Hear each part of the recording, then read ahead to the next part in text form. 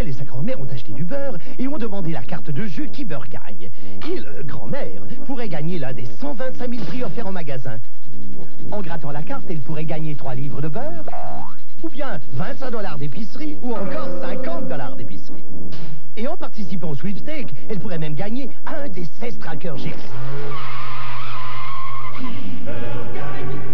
Achetez du beurre et demandez votre carte de jeu à la caisse.